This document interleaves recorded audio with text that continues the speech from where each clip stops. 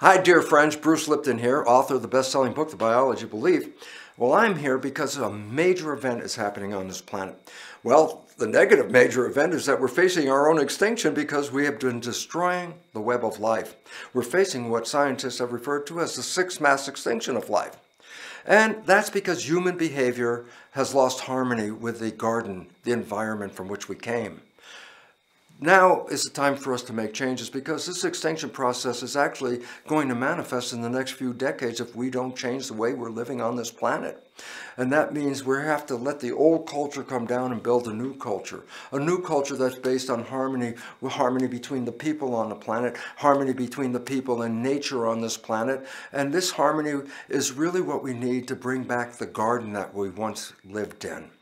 To celebrate this understanding about how we have to live in harmony, on October 1st begins the first day of the World Water Festival, a series of YouTube videos with prominent speakers, but it all comes to a big conclusion on October 16th and 17th, where festivities will bring leaders of the world together, scientists, artists, musicians, to celebrate the nature of water, one of the most vital things for human civilization on this planet. And so therefore, Please look at these programs because our future is dependent upon it.